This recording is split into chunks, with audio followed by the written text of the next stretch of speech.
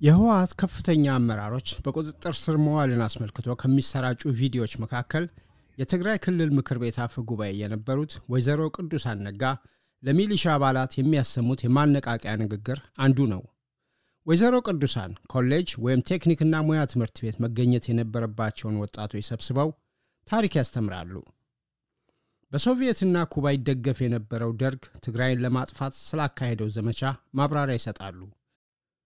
ወይዘሮዋ ዳር ሆነው ያራግቡ ወይ ውጊያ ላይ ይሳተፉ ስለ ታሪካቸው እርግጠኛ ባንሆንም የጦርነትን አስከፊ ገጽታ ፊት ወንበር ላይ ተቀምጠው ለማየት በቅርቡ እድል ገጥሟቸው ነበር።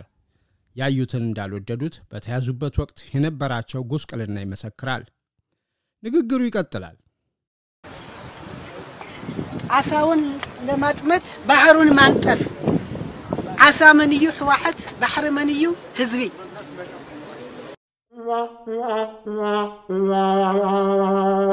At 22 hours GMT, welcome to the newsroom from the BBC World Service. Hello, አሳውን ለማጥፋት ባህሩን አድርግ። ይህ የቸከ ትርክት ስለተደጋገመ እውነት እየመሰለ ነው። ለሰይጣን ጥብቅና መቆም ቢሆንም አባባሉን ግን ደርግ አላመጣውም። ታሪኩን በአግባቡ ለማስቀመጥ እንሞክራለን።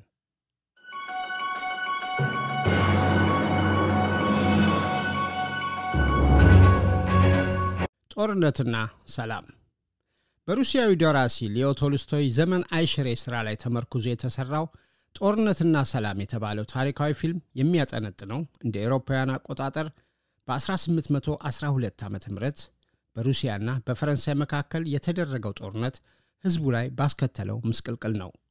በጦር አመራር ብቃቱ የተመሰከረለት የፈረንሳዩ መሪ ናፖሊዮን ቦናፓርት ሩሲያን ለመውረር ወደ ግማሽ ሚሊዮን ሰራዊት አሰልፎ ረጅሙን ጉዞ ተያይዞታል። የባላንጣውን ጦር የሚመራው ጄኔራል ኩቱዞቭ የሚደነቅበት ችሎታው ጠላቱን በአግባቡ ማወቁ ነው። ስለዚህ ናፖሊዮንን ከመግጠም ማፈግፈግን መረጠ። ሞስኮ አቀረብ በምትገኘው ቦሮዲኖ በተባለች ስፍራ ባደረገው ውጊያ የናፖሊዮንን ፈርጣማ ክንድ አይቷል። ጄኔራሉ እንደምንም ጦርነቱን እያስረዘመ አደገኛውን የበረዶ ክረምት ይጠባበቅ ያዘ።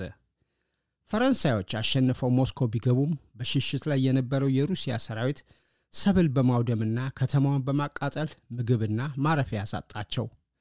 የኩቱዞፍ የጦርነት ዕቅድ አሳውን ለማጥፋት ባህሩን ማድረቅ ስለነበር የናፖሊዮን ሰራዊት ውጊያ ላይ ድል ቢቀናውም ጦርነቱን ግን ማሸነፍ አልቻለም። ከረሃብና ብርድ ተርፎ ወደ መጣበት የሚሸሸው ወታደር የገበሬ አካፋና ዶማ ሲሳይ ሆነ።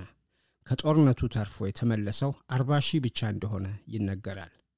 ናፖሊዮን ከዛ ሽንፈት አላገገመም። ይህ መሬቱን የማድረግ ዘዴ በ1983 የኢራቅ ጦር ከኩዌት ሲወጣ ከ600 በላይ የነዳጅ ማውጫ ጉድጓዶችን በማቃጠል የተጠቀመበት ስልት ነው። ኢትዮጵያ ውስጥ አንድን አማጺ ቡድን ለማጥፋት የተጀመረ ሳይሆን በመቶ ለሚቆጠሩ ዓመታት የተሄደበት መንገድ ነው። ነገር ግን በተደጋጋሚ በመነገሩ አንድ ማኅበረሰብ ላይ ያነጣጠረ የሚመስል ትርጉም ተሰጥቶታል። ወይዘሮዋ እንግዲህ እዚህ ላይ ነው የበረቱት። በአንድ ተራ ዜጋ እይታ እናት ወይም አያት የሚመስሉት ባለሥልጣን እሳቸው ከሚሰብኩት ጥላቻ በተቃረነ መልኩ በቁጥጥር ስር የዋሏቸው ሰዎች ካቴና ባለማጥለቅ የትሕትናቸውን መጠን አሳይተዋቸዋል። በተያዙበት ወቅት የነበራቸው ገጽታ ለጥቂት ሳምንታትም ቢሆን ያሳለፉትን አስቸጋሪ ሕይወት ቃል ሊገልጸው ከሚችለው በላይ ያሳያል። በዛው በቃ ይበላቸው። አሜን።